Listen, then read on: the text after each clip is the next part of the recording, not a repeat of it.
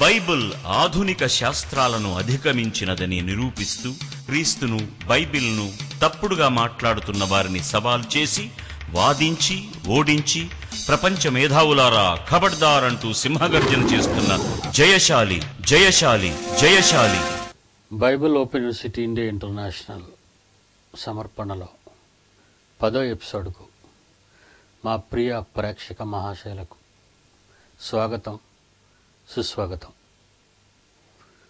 ప్రతి వారం ప్రసారం అవుతున్న ఎపిసోడ్స్ను బట్టి దేశం రాష్ట్రం నలుమూలల నుంచి లక్షలాది మంది అభిమానులు ఫోన్ కాల్స్ ఉత్తరాలు మెయిల్స్ వాటన్నిటి బట్టి ఉబ్బు తబ్బిబ్బవుతున్నామని తెలియచేయటానికి సంతోషిస్తున్నాం. యువతను ఆకర్షించే ఈ గొప్ప సంగతులు సమాజాన్ని యేసు యొక్క గొప్పతనం ఎంతో అంతవరకు నడిపించటానికే మేము తీసుకున్న ఈ ప్రయత్నం. అనేక మంది త్యాగదంల సహాయం అని మీకు తెలపడానికి ఆనందపడుతున్నాం. ప్రియులరా ఒక ముఖ్యమైన విషయాన్ని మీ ముందు ఉంచదలుచుకున్నాను. బైబిల్ను దొంగిలించిన మిలియనే మహానీయులు అని. వీళ్ళందరినీ వెంటాడి వేటాడి మీ ముందు నిలబెట్టడంలో బైబిల్లో చాలామందికి వచనం తెలియక అపార్థం చేసుకుంటున్నారు. చదువుతాం చూడండి. కొరందీలకు రాసిన రెండో పత్రికలో పదో అధ్యాయం మూడో వచనం నుంచి. మేము శరీరదారులమై నడుచుకొనుచున్నాను శరీర ప్రకారము యుద్ధం చేయము మా యుద్ధోపకరణములు శరీర సంబంధమైనవి కావు కానీ దేవుని ఎదుట దుర్గములను పడద్రోయజాలినంత బలము కలవై ఉన్నవి. ఏంటి అనుకుంటున్నారు అవని? ఐదో మేము వితర్కములను దేవుని గూర్చిన జ్ఞానమును అడ్డగించు ప్రతి ఆటంకమును పడద్రోసి ప్రతి ఆలోచనను క్రీస్తుకు లోబడునట్లు చేరపట్టి మీరు సంపూర్ణ విధేయతను కనుపరిచినప్పుడు సమస్తమైన అవిధేయతకు ప్రతిదండన చేయ సిద్ధపడి ఉన్నాము అన్నారండి బైబిల్లో. మరి ఇంత గొప్ప సాహసం ఎందుకు చేస్తున్నామని మీరు ఆలోచించాలి కదా. అరవై ఆరు పుస్తకాల్లో ఎక్కడ ఎంత మహాజ్ఞానం భద్రపరచబడిందో తెలియాలి అంటే ఏదో IAS IPS MBBS MTech BTech చదువుకున్నట్టు చదివితే బైబిల్ అర్థం కాదండి. తపస్సు చేయాలండి బైబిల్ మీద. ఏదో నోటుకొచ్చినట్టు మాట్లాడటం కాదు కదా. శాస్త్రవేత్తలు అనేక మంది క్రైస్తవ కుటుంబాలకు చెంది బైబిల్ చదివి చర్చిలకు వెళ్ళి బోధలు విని యేసుప్రభును బయట పెట్టకుండా ఆయన అన్న మాటలు దేవుని మాటలను బయట పెట్టకుండా వాళ్ళ గొప్పతనాలు చాటుకున్నప్పుడు వాళ్ళ దొంగలు అనకపోతే ఏమనాలండి? ఏమండి? సమాజాన్ని లేదా బైబిల్ తప్పు అనేవాళ్ళని బైబుల్ అర్థం కాని వారిని ఛాలెంజ్ ఎందుకు చేస్తున్నాను అనుకుంటున్నారా మీరు? వాళ్ళ రోషం కలిగించాలండి. ఇండియాలో ఉన్న నేను భారత క్రైస్తవునిగా ప్రపంచంలో ఉన్న ఎనీ కంట్రీ ఏ దేశంలో ఉన్న క్రైస్తవ పండితుడినైనా సవాలు చేయగలుగుతున్నానంటే వాడికి రోషం పుట్టించాలండి. గొలియత ఎన్ని మాటలు అన్నాడండి దేవుడిని ఇస్రాయేలీని చెప్పండి. రెచ్చగొట్టలేదా? రెచ్చగొట్టారు. మరి ఈరోజు క్రైస్తవ్యాన్ని రెచ్చగొట్టడం లేదా? రెచ్చగొడుతున్నారండి. యేసు మీద కళంకాన్ని ఆపాదిస్తున్నారు క్రైస్తవ్యం మతం అంటున్నారు. బైబిల్ను తగలబెడుతున్నారు కాళ్ళతో తొక్కుతున్నారు మరి ఇలాంటివన్నీ చూసిన తరువాత ఒక యేసుక్రీస్తు సైనికునిగా నేను ఎందుకండి ఊరుకోవాలి? దావీదులో నేను రచ్చగొట్టానండి. ఎందుకంటే గొలియత్ తల తెగి కింద పడాలి. అదే కదండి నా ఆశ. క్రైస్తవులుగా మీరంతా ఆలోచించండి. అందుకే రెచ్చగొడుతున్నాను. ఇక ఈ ఎపిసోడ్లో మరికొంత శాస్త్రవేత్తలతో ఈ మిలేనియం దొంగల్ని మీ ముందు పెడుతున్నానండి. మరి వీరి గురించి మీరు ఆలోచించాలి. గెలిలియో గెలిలి అని మీకు తెలుసు కదండి? క్రీస్తు శకం పదహారు వందల పది అండి క్రీస్తు శకం పదహారు వందల పది కాలాలు మాత్రం మీరు జాగ్రత్తగా గుర్తు చేసుకోవాల్సి చంద్రుడు స్వయం ప్రకాశము లేనివాడు సూర్యుని కాంతి పడితేనే గాని ప్రకాశింపడని ప్రపంచానికి మొట్టమొదటిసారిగా చెప్పిన ఈ ఇటాలియన్ సైంటిస్టే గెలిలియో గెలిలి. క్రీస్తు శకం పదహారు వందల పదిలో కదండి ఈ మాట అన్నాడు. చంద్రుడు స్వయం ప్రకాశం లేనివాడని. మరి బైబిల్ ఎప్పుడు చెప్పిందో మీకు తెలుసు కదా. నేను ఎప్పుడు ఈ విషయాలే మీకు చెప్తున్నాను. క్రీస్తు పూర్వం గెలిలియో గెలిలి క్రీస్తు శకం పదహారు కదండి సంవత్సరం. క్రీస్తు పూర్వం పద్నాలుగు వందల పద్దెనిమిది వందల సంవత్సరాల్లో యోబ్ అనే గ్రంథంలో ఇరవై ఐదో అధ్యాయం ఐదో వచనం ఇరవై ఐదు అధ్యాయం ఐదు వచ్చిన అందులో ఏముందో తెలుసండి? ఆయన దృష్టికి చంద్రుడు కాంతి గలవాడు కాడు. పదహారు వందల పదిలో గెలిలియో చెప్పింది మీరు ఏదో గొప్ప శాస్త్ర పరిశోధన గొప్ప సంగతి తెలిసిపోయిందని అమాయక ప్రపంచం వెర్రివాళ్ళ చంకలు కొడుతున్నప్పుడు బైబిల్లో ఉన్న మహాజ్ఞానాన్ని దేవుడు ఎప్పుడు చెప్పాడో మరి నేను చెప్పాలి కదండి? సృష్టిని సృష్టించినది దేవుడు. ఏ వస్తువు ప్రకాశిస్తుందో ఏ వస్తువు ప్రకాశించదో ఏ వస్తువు ఎందుకు తిరుగుతుందో ఏ వస్తువు ఎందుకు తిరగదో మరి ఇవన్నీ బైబిల్లో వ్రాయబడినప్పుడు నేను చెప్పాలేకపోతా గెలిలియో గెలిలి చెప్పాడు అనుకుంటున్నారు అది కాదు బైబిల్ కాపీ చేసేసి చంద్రుడు స్వయం ప్రకాశం లేనివాడు అని చెప్పాడు. మరి నేను ఈనాడు ప్రపంచంలో ఎవడు చెప్పని ఈ కాలంలో రెండు వేలు సంవత్సరాల తరువాత వీళ్ళందరి మీద తిరుగుబాటు చేయొద్దా? దేవుని ఎదుట బలమైన దుర్గాలను కట్టారు కదా. వీళ్ళంతా దేవుడు కనబడకుండా దేవుని మాటలు వినబడకుండా. దేవుడు కనబడకుండా దేవుని మాటలు వినబడకుండా మానవ అజ్ఞానంతో బైబిల్ని కాపీ చేసిన ఎందరో మిలేనియం దొంగలు. దేవుని మాట చెప్పకుండా దేవుని ఎదుట బలమైన దుర్గాలను ఒకడగడితే వితర్కాలతోనూ తర్కాలతోనూ బైబుల్ నిజమా క్రైస్తవ్యం మతమా అని నోటుకొచ్చినట్టు వాగుతుంటే వీళ్ళందరూ నోరు ఊహించాలా వద్దా చెప్పండి.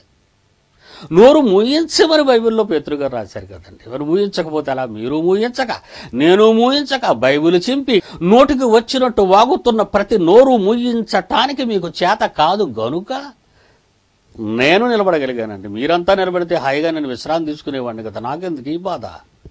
చెప్పండి. ఏమండి? యష్యా గ్రంథం పదమూడో అధ్యాయం పదో వచ్చినవండి క్రీస్తుపూర్వం నాలుగు వందలు ఐదు వందలండి. యశ్యా గ్రంథం ఈ పదమూడో అధ్యాయంలోని పదో మాట. గెలిలు గెలిలి పదహారు వందల పది అండి క్రీస్తు శకం మర్చిపోకండి అది మనసులో పెట్టుకోండి. ఇక్కడ యష్యా గారి ద్వారా దేవుడు ఏం రాయించాడో తెలుసండి? సూర్యునికి చీకటి కమ్మితే చంద్రుడు ప్రకాశింపడు అని ఉందండి. ఇంతకంటే ఎగ్జాంపుల్ ఏం కావాలండి? ఇంతకంటే లోతైన శాస్త్ర పరిశోధన ఎందుకు చెప్పండి?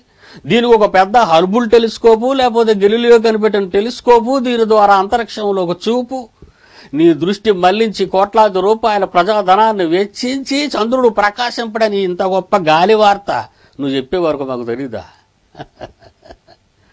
తెలుసుకోవాలండి. తెలుసుకోవాలి. అది బైబిల్ చదవాలి. బైబిల్ చదివితేనే అర్థమవుతుంది. సూర్యునికి చీకటి కమ్మితే చంద్రుడు ప్రకాశింపడని ఇష్యా పదమూడు పదిలో క్రీస్తుకు పూర్వం నాలుగు వందల ఐదు వందల్లో చెబితే క్రీస్తు శకం ముప్పై మూడులో క్రీస్తు శకం ముప్పై మూడు. గెలిలు గెలిలి క్రీస్తు శకం పదహారు వందల పది. మర్చిపోకండి. యేసుప్రభు అన్న మాట మార్కుసు వార్త పదమూడు అధ్యాయం ఇరవై నాలుగు. మార్కు వార్త పదమూడు ఇరవై నాలుగు. మత్తేసు వార్త ఇరవై నాలుగు ఇరవై తొమ్మిది. మత్తేసు వార్త ఇరవై నాలుగు ఇరవై తొమ్మిది. సూర్యునికి చీకటి కమ్మితే చంద్రుడు ప్రకాశింపడని ఉందండి. తీసేద్దామండి గెలిలి అని. అయిపోయాడు బైబిల్ ముందు ఓడిపోయాడు. పక్కన పడేయండి. అయిపోయాడు. Robert Boyle. క్రీస్తు శకం పదహారు వందల అరవై రెండు మర్చిపోకండి వీళ్ళంతా క్రీస్తు తర్వాత పుట్టినోళ్ళే. పదహారు వందల అరవై రెండు పదిహేడో శతాబ్దం ఈ రాబర్ట్ బోయిల్ ఏమన్నాడో తెలుసండి? గాలికి ద్రవ్యరాశి బరువు ఉందని చెప్పాడండి. అబ్బో చెక్కలు కొట్టేసుకున్నారండి అందరూను. గాలికి బరువు ఉందని చెప్పిన మహానీయుడు శాస్త్రవేత్త జోహార్ అన్నారండి. నేనేమంటాను తెలుసండి? పరార్ అని చెప్తానండి. పరార్. ఎందుకంటే గాలికి ఇంత బరువు ఉండవలనని దేవుడు నియమించి ఉన్నాడు. క్రీస్తుకు పూర్వం పద్నాలుగు వందల పద్దెనిమిది వందల్లో పద్నాలుగు వందల పద్దెనిమిది వందల సంవత్సరాల మధ్యకాలంలో యోగు గ్రంథం రాయబడినప్పుడు ఇరవై ఎనిమిదో అధ్యాయం ఇరవై ఐదో వచనంలో ఏముందో తెలుసండి? ఇరవై ఎనిమిది ఇరవై ఐదు స్టూడెంట్స్ యువకులారా మీరు రాసుకోండి. మీరే కావాలి దేవుడికి యువకులు కావాలి. గాలికింత బరువు ఉండవలనని దేవుడు నియమించి ఉన్నాడు. యోగు గ్రంథం ఇరవై ఎనిమిది ఇరవై ఐదు. రాబర్ట్ బోయల్ పదహారు వందల అరవై రెండులో చెప్తే దేవుడు ఎప్పుడండి? క్రీస్తు పూర్వం పద్నాలుగు వందల పద్దెనిమిది వందలో చెప్పాడు. వాట్ ఎ వండర్ఫుల్ బైబిల్ అండి. Hats up to the Bible Milankovitch Yugoslavia వారు అయ్యగారు శాస్త్రవేత్త గారు నైన్టీన్ టెన్ అండి. పంతొమ్మిది వందల పది. ఏమండి? పంతొమ్మిది వందల పదిలో మిలిటన్ కోవిచ్ అనే యుగస్లేవియన్ సైంటిస్ట్ జాక్వస్ లస్కర్ అనే అమెరికన్ సైంటిస్ట్ పంతొమ్మిది వందల తొంభై అండి ఎడతాడు. పంతొమ్మిది వందల తొంభైలో పంతొమ్మిది వందల పదిలో Milutin కోవిచ్ Yugoslavia Jacques Lashkar America క్రీశకం పంతొమ్మిది వందల తొంభై. భూ వాతావరణంలో చంద్రుని వలన ఋతువులు ఏర్పడుచున్నవని ఈ ఇరవై శతాబ్దంలో చెప్పారండి వీళ్ళు. భూ వాతావరణంలో చంద్రుని వలన ఋతువులు ఏర్పడుచున్నవని ఇరవై శతాబ్దంలో చెప్తే క్రీస్తు పూర్వం ఎనిమిది వందలు వెయ్యి సంవత్సరాలలో బైబిల్ క్రీస్తు పూర్వం అండి వీళ్ళంతా బచ్చేగాళ్ళండి. బచ్చేగాళ్ళంతా క్రీస్తు పూర్వం ఎనిమిది వందల వెయ్యి సంవత్సరాలలో కీర్తనలనే గ్రంథంలో ఏం రాయబడిందో నూట నాలుగు పంతొమ్మిది చదువుతున్నాను. నూట నాలుగు పంతొమ్మిది. పాపం. భూ వాతావరణంలో చంద్రుని వల్ల ఋతువులు ఏర్పడుతున్నాయని అమాయకులని మీకు చెప్పారు వీళ్ళు. కానీ బైబిల్ ఎప్పుడు చెప్పింది?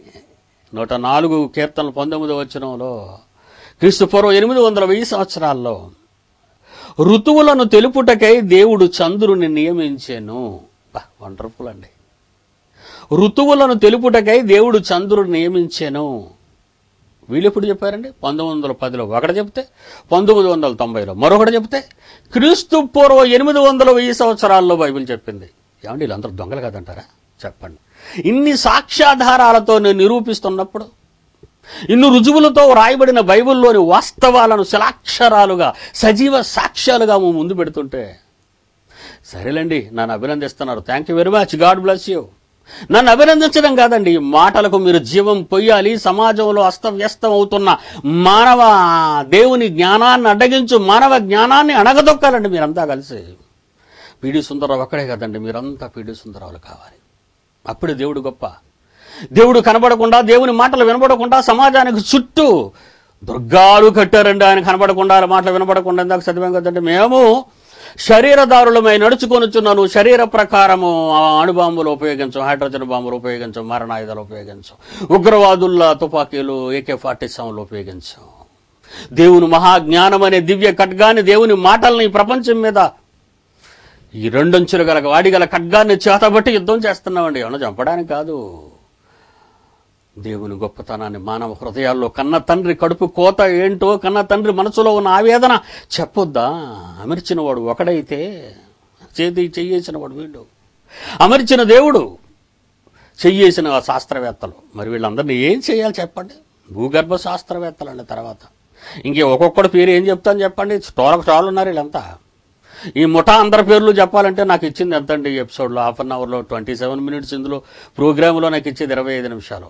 ఎంత తక్కువ తెలుసు అంటే ముందు ప్రార్థన లేదు వెనకాదర ప్రార్థన లేదు సాక్ష్యం లేదు పాట లేదు ప్రార్థన లేదు. ఏంటండి మాట్లాడినాయి బుద్ధి లేనివాడు ప్రతివాడు లేనిపోని మాట్లాడుతుంటారండి అవన్నీ పట్టించుకోకండి. మాట్లాడడానికే సమయం లేదు. దేవుని మహాజ్ఞానాన్ని ప్రకటించడానికి సమయం సరిపోలేదని నేను బాధపడుతుంటే ప్రార్థన లేదని ఒకడో? సాక్ష్యం లేదని మరొకడో? మా కొరకు ప్రార్థన చేయమని నెంబర్లు అడగలేదని ఒకడో? ఏంటండి ఇదంతా? అలాంటివి చాలా ఉన్నాయి మార్కెట్లో. చిల్లర చిల్లర చిల్లర చిల్లర ఈ మధ్యన ఛానల్స్ అన్ని బాగా నిండిపోతున్నాయి. అడుక్కునే వాళ్ళు ఎక్కువైపోయారు. విదేశాల నుంచి డబ్బు అడుక్కున్నారు. అది చాలదు. మీ నుంచి డబ్బు అడుగుతున్నారు. అని మిమ్మల్ని? ఏమైనా మేము డబ్బులు అడుగుతున్నావా? వద్దండి. వద్దు వద్దు, మీరు దేవుని పని చేయాలని మీకు మనస్సు ఉండాలే కానీ మేము అడిగితే మీరు ఏం గొప్పండి? దేవుని పని చేయాలని మీరు ముందుకు రావాలి. మాకు డబ్బులు ఇవ్వండి అని మేము ఎందుకు అడగాలి మిమ్మల్ని? ఏమండి? ఈ సా ఈ ప్రోగ్రానికి డబ్బులు ఇచ్చి చూసా ముందుకు నడిపించారు వాళ్ళండి గొప్పవాళ్ళు. హ్యాట్సప్ వాళ్ళకి వాళ్ళకి వాళ్ళకి. వాళ్ళకండి. ఇక భూగర్భ శాస్త్రవేత్తలు పంతొమ్మిది వందల డెబ్బై ఎనిమిది రీసెంటే కదండి? ఇది టూ థౌజండ్ సెవెన్. పంతొమ్మిది వందల డెబ్బై ఎనిమిదిలో వాళ్ళు ఏమన్నారు తెలుసండి? భూమి యొక్క అంతర్భాగాల్లోనికి వెళ్ళే కొలది శిలలు కరిగిపోయే ఉక్కు ఉష్ణోగ్రత ఉంటుందన్నారండి. భూమి లోపల భాగాలు అగాధ స్థలాల్లోనికి వెళితే రాళ్ళు కూడా కరిగిపోయినంత భయంకరమైన ఉష్ణోగ్రత వేడి. అక్కడి నుంచే కదండి. భూ భూకంపాలంటే అగ్ని అగ్నిపర్వతాల బద్దలైపోయి లావా బయటకు రావడం ఇవన్నీ మీరు చూస్తున్నారు. లోపల భాగాలంతా శిలలు కరిగిపోతాయని అంత వేడి భూమి లోపల భాగంలో ఉందని పంతొమ్మిది వందల డెబ్బై ఎనిమిదిలో భూగర్భ శాస్త్రవేత్తలు చెబితే బైబిల్ ఎప్పుడు చెప్పిందంటారా? క్రీస్తు పూర్వం పద్నాలుగు వందల పద్దెనిమిది వందల సంవత్సరాలలోనే యోబనే గ్రంథంలో ఇరవై ఎనిమిదవ అధ్యాయంలో ఐదవ వచనం భూమి లోపలి భాగము అగ్నిమయమైనట్లుండును. భూమి లోపలి భాగము అగ్నిమయమైనట్లుండును. సముద్ర గర్భంలో అగ్ని పర్వతాల దిగువన అగ్ని గంధకిక జల జలముల దేహ నిర్మాణములో కీలక పాత్ర వహించే ప్రోటీన్లు ఉండే పదార్థాలన్నీ ఉన్నాయని నేటి శాస్త్రవేత్తలు తెలుసుకున్నారు. క్రీస్తు శకం టూ థౌజండ్ అలా చెప్తానండి. ఏం తెలుసుకున్నారో వీళ్ళు? సముద్ర గర్భంలో అగ్ని పర్వతాల దిగువన అగ్ని గంధకిక జలముల జలములు దేహ నిర్మాణంలో కీలక పాత్ర వహించే ప్రోటీనులు ఉండే పదార్థాలన్నీ ఉన్నాయని నేటి శాస్త్రవేత్తలు చెబుతున్నారండి టూ థౌజండ్లో. బైబిల్ ఎప్పుడు చెప్పిందంటారా? నూట ముప్పై తొమ్మిది కీర్తన ఐదో వచ్చినండి నూట ముప్పై తొమ్మిదో కీర్తన ఐదో వచనము. క్రీస్తు పూర్వం ఎనిమిది వందల వెయ్యి సంవత్సరాలు గుర్తుంచుకోండి. చదువుతున్నారు బైబిల్. భూమి యొక్క అగాధ స్థలములలో నుండి తీయబడి దేవునిచే నిర్మింపబడిన మానవ ఆకారం. ఇప్పుడు తెలుసుకున్నారు. మానవ ఆకారానికి అవసరమైన అన్నివి ఉన్నాయి. భూగర్భంలో అని. కానీ దేవుడు మనిషి ఆకారాన్ని చేసిందే కదండి. గతంలో చెప్పారు కదా ఎపిసోడ్లో. లోపల నుంచే. అది భూగర్భంలో ఉన్నాయని. నూట ముప్పై తొమ్మిది కీర్తన ఐదో వచనంలో ఉంది. మరొక మాట చెప్తానండి. మీరు ఆశ్చర్యపోయే మాట. ఈనాడు అంతర్జాతీయ మార్కెట్లో అతి ప్రధానమైన వస్తువై ప్రపంచ దేశాల ఆర్థిక వ్యవస్థలను విలువైన వాణిజ్య సంపదగా ఉన్న పెట్రోలియం చమురు నిక్షేపాలు భూగర్భంలో ఎక్కడ ఎలా దొరుకుతాయో బైబిల్ ముందే చెప్పింది. నమ్ముతారా? మీరు కానీ తవ్వకాలు మొదలు పెట్టకండి వద్దు. మీరు కానీ నవ్వేసేవారు చెప్పానని మరలా మరలా మరలా మరలా. ఈనాడు అంతర్జాతీయ మార్కెట్లో అతి ప్రధానమైన వస్తువై ప్రపంచ దేశాల ఆర్థిక వ్యవస్థను విలువైన వాణిజ్య సంపదగానున్న పెట్రోలియం చమురు నిక్షేపాలు భూగర్భంలో ఎక్కడ ఎలా దొరుకుతాయో బైబిల్ ముందే చెప్పింది. చూస్తారా బైబిల్లో? చూడండి ద్వితీయోపదేశ కాండం ముప్పై మూడో అధ్యాయం పంతొమ్మిదో వచనం. క్రీస్తు పూర్వం పద్దెనిమిది వందల నలభై ఐదు మర్చిపోకండి. క్రీస్తు పూర్వం పద్దెనిమిది వందల నలభై ఐదు. ఇసుకలో దాచబడిన రహస్య ద్రవ్యమును పీల్చుదురు. బైబిల్ మాట అండి ఇసుకలో దాచబడిన రహస్య ద్రవ్యములను పీల్చుదురు. ద్వితీయోపదేశకాండ ముప్పై మూడు పంతొమ్మిది. ఇక ద్వితీయోపదేశకాండ ముప్పై రెండు పదమూడు. చిక్కుముక్కి రాతి బండ నుండి నూనె అతనికి జుర్రింపజేసేతను చికుముకి రాతి బండ నుండి నూనెను అతనికి జుర్రింపజేసేతను లాటిన్ భాషలో పెట్రో అనగా బండ. ఓలియం అనగా నూనె. మరల వినాలి. లాటిన్ భాషలో పెట్రో అనగా బండని ఓలియం అనగా నూనెను తెలుసుకోవాలి. అనగా పెట్రోలియం బండ నుండి తీయబడిన నూనె. ఇంగ్లీష్లో రాక్ ఆయిల్ అంటారు దీన్ని. Rock oil. ఇసుకలో దాచబడిన రహస్య ద్రవ్యమును పీల్చుదురు. చెకుముకి రాతి బండ నుండి నూనె అతనికి జుర్రింపజేసేదను. ఇసుక నేల ఎడారి ప్రాంతాలు అనుకొని ఎందుకు పనికిరాక పనికిరాక పనికి ఆ ప్రదేశాలు ఆ గల్ఫ్ దేశాలు చూడండి. ఆయిలే ఆయిల్. ఎక్కడ ఎలా దొరుకుతుందో ఆయన చెప్పాడు. ఎందుకంట? ఎందుకు ఆయన చెప్పాడు? ఆయన సృష్టించాడండి మానవ జాతి కోసం ఇదంతా. మన కోసమే ఇదంతా.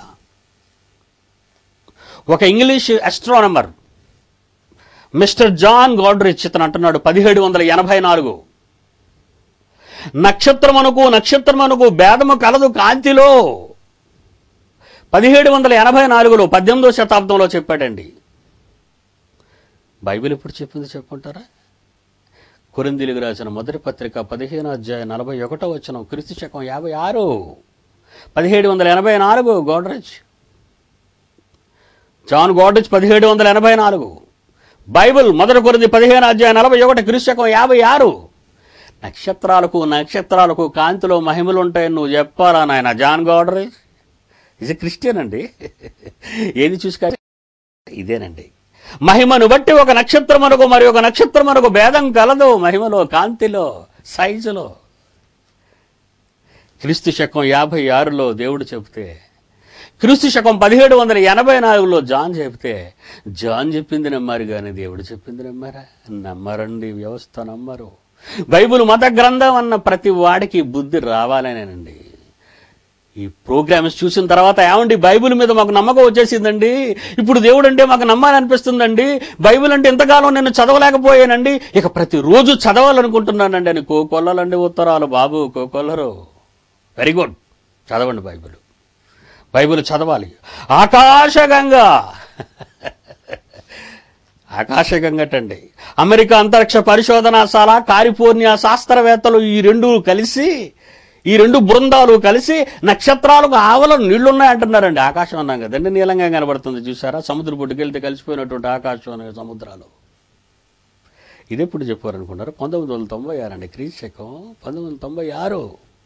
వాళ్ళు ఏమంటున్నారంటే అమెరికా అంతరిక్ష పరిశోధనశాల శాస్త్రవేత్తలు కాలిఫో కాలిఫోర్నియాలోని శాస్త్రవేత్తలు పొందారు ఇద్దరు కలిసి పాపం అహోరాత్రులు కష్టపడి గొప్ప సంగతి చెప్పారండి మనకి ఏంటట నక్షత్రాల కావల నీలంగా కనిపించేది మహాజలాలటండి. ఆకాశగంగ దాని పేరు.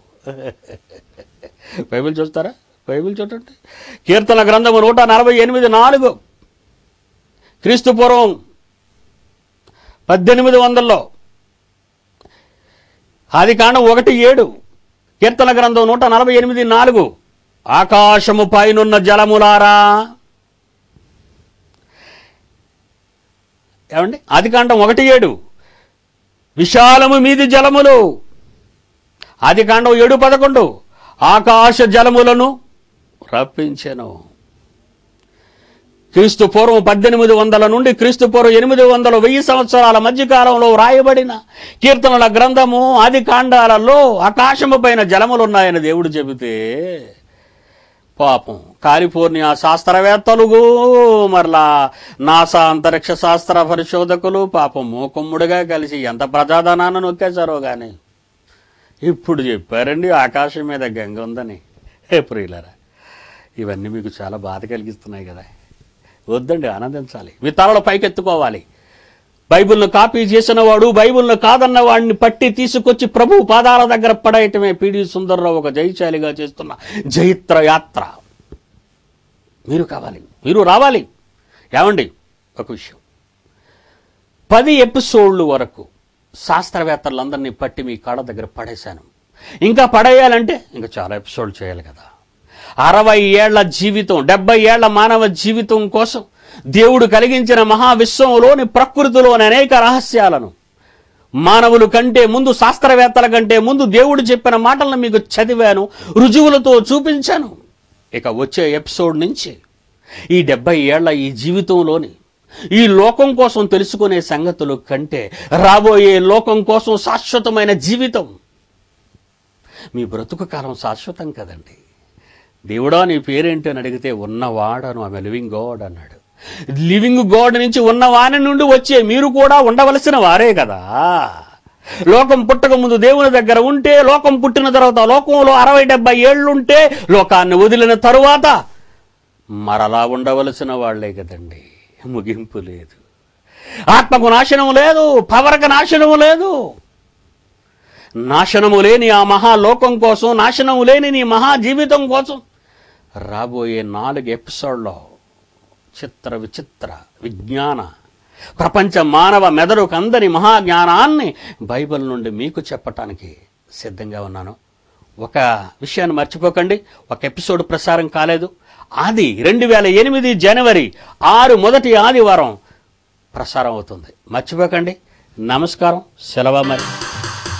ఇది ప్రారంభ క్రైస్తవ ప్రభంజనం ఇది మొదటి శతాబ్దపు విప్లవం. ఇది ప్రారంభ క్రైస్తవ ప్రభంజనం ఇది మొదటి శతాబ్దపు విప్లవం. మనిషిని మనిషి హతమార్చేదే లోక విప్లవం. మనుషుల మనసును మార్చేదే క్రీస్తు విప్లవం. విప్లవం వర్ధిల్లాలి విప్లవం వర్ధిల్లాలి క్రైస్తవులంతా పోరాటం చెయ్యాలి. విప్లవం వర్ధిల్లాలి క్రీస్తు విప్లవం వర్ధిల్లాలి క్రైస్తవులంతా పోరాటం చెయ్యాలి. ఇది ప్రారంభ క్రైస్తవ ప్రభంజనం ఇది మొదటి శతాబ్దపు విప్లవం. క్రైస్తవ్యం కులమే కాదు క్రైస్తవ్యం మతమే కాదు క్రీస్తు బోధ మత మార్పిడి కానే కాదు. క్రైస్తవ్యం కులమే కాదు క్రైస్తవ్యం మతమే కాదు క్రీస్తు బోధ మత మార్పిడి కానే కాదు. నేడైనా రేపైనా ఎక్కడైనా బైబిల్ తప్పంటే ఓడిస్తా. నేడైనా రేపైనా ఎక్కడైనా బైబిల్ తప్పంటే ఓడిస్తాం. జ్ఞానులనైనా ఒప్పిస్తాం మూర్ఖుల నోరు మూయిస్తాం భూలోకం తల క్రిందులు చేసేస్తాం. జ్ఞానులనైనా ఒప్పిస్తాం మూర్ఖుల నోరు మూయిస్తాం భూలోకం తల క్రిందులు చేసేస్తాం. ఇది ప్రారంభ క్రైస్తవ ప్రభంజనం. ఇది మొదటి శతాబ్దపు విప్లవం. ఇది ప్రారంభ క్రైస్తవ ప్రభంజనం. ఇది మొదటి శతాబ్దపు విప్లవం. దొంగ బోధకుల పని పడతాం. తప్పుడు బోధల నరికడతాం సత్యవాక్యాన్ని సరిగా విభజిస్తాం. దొంగ బోధకుల పని పడతాం. తప్పుడు బోధల నరికడతాం సత్యవాక్యాన్ని సరిగా విభజిస్తాం. శ్రమయైనా కరువైనా లేమైనా క్రీస్తే రక్షకుడని బోధిస్తాం. శ్రమయైనా కరువైనా లేమైనా క్రీస్తే రక్షకుడని బోధిస్తాం. శాస్త్రజ్ఞులనైనా సరిచేస్తాం సామంతులనైనా శాసిస్తాం దేవుడు ఉన్నాడని సవాలు చేస్తాం. శాస్త్రజ్ఞులనైనా సరిచేస్తాం సామంతులనైనా శాసిస్తాం దేవుడు ఉన్నాడని సవాలు చేస్తాం. ఇది ప్రారంభ క్రైస్తవ ప్రభంజనం ఇది మొదటి శతాబ్దపు విప్లవం. ఇది ప్రారంభ క్రైస్తవ ప్రభంజనం ఇది మొదటి శతాబ్దపు విప్లవం. మనిషిని మనిషి హతమార్చేదే లోక విప్లవం. మనుషుల మనసును మార్చేదే క్రీస్తు విప్లవం. విప్లవం వర్ధిల్లాలి విప్లవం వర్ధిల్లాలి క్రైస్తవులంతా పోరాటం చెయ్యాలి. విప్లవం వర్ధిల్లాలి క్రీస్తు విప్లవం వర్ధిల్లాలి క్రైస్తవులంతా పోరాటం చెయ్యాలి. ఇది ప్రారంభ క్రైస్తవ ప్రభంజనం ఇది మొదటి శతాబ్దపు విప్లవం. జయశాలి కాలంగళం నుండి వెలువడిన ప్రపంచ మానవ శాస్త్రాలను తలక్రిందులు చేసే అద్భుత ప్రసంగ ఆడియో వీడియో సీడీలు మరియు డీవీడీల వరకు మమ్మల్ని సంప్రదించగలరు. మా చిరునామా Bible open university India international Akkayyapalem Visakhapatnam Andhra Pradesh India. మా phone numbers zero eight nine one two seven four five seven four five two seven two double zero two seven two five nine double seven double nine. మా website WWW dot Bible dot org మరియు మా email VOU India at the rate of at dot net